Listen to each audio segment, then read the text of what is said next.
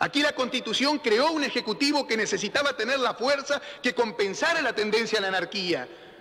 Desde el año 1810 hasta 1853, que digo hasta el 60, estuvieron las provincias peleando unas con otras. Entonces el diseño de un Ejecutivo tan fuerte, mucho más que el norteamericano, justamente lo que busca es crear en el poder nacional un contrapeso que tienda a evitar esa tendencia a la disgregación. Y por eso mismo es que la Constitución pone un límite temporal, porque también dice, no está en la naturaleza humana acumular poder. Pone los seis años y pone la no reelección. Cuando Alberdi, en los escritos póstumos en el 74, analiza esta cláusula, todos conocemos, dice, si hay algo que cambiaría de mi proyecto originario, es justamente el tema de la reelección.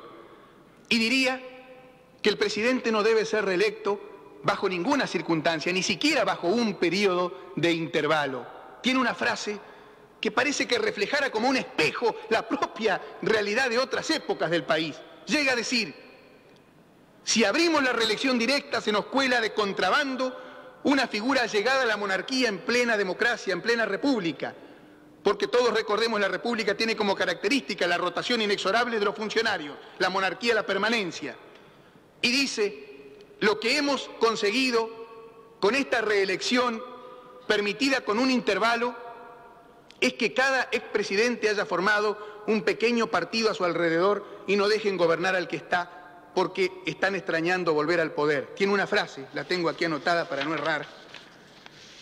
Llega a decir, los expresidentes han venido a ser el mal principal de la República Argentina a raíz de las luchas de Mitre y de Sarmiento que no dejaban gobernar al presidente de entonces.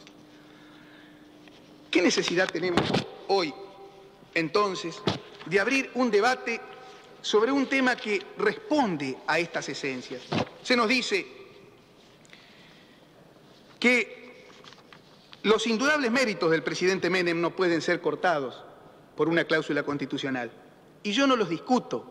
Por supuesto que tenemos discrepancias en muchos de estos temas. También tenemos coincidencias en otras.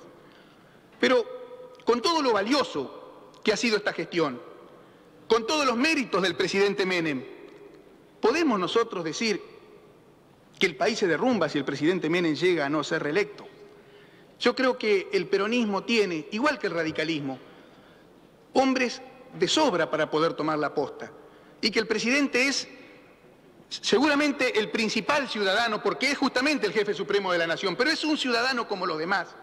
Si el riesgo de abrir el debate sobre la posibilidad de la reelección nos abre el riesgo de romper el consenso constitucional, es conveniente apostar esa carta.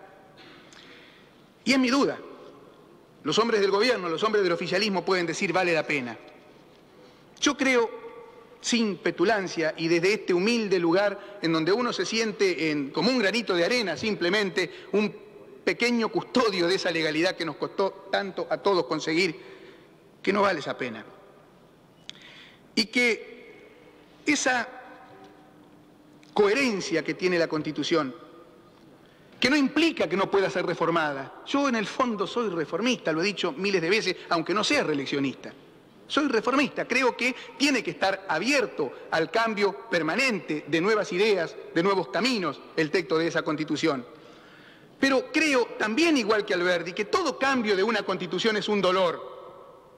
Que el tema es si ese dolor vale la pena correrlo en función de algún bien superior. Alberti pone la comparación con un cuerpo al que hay que amputarle un miembro para evitar que se muera.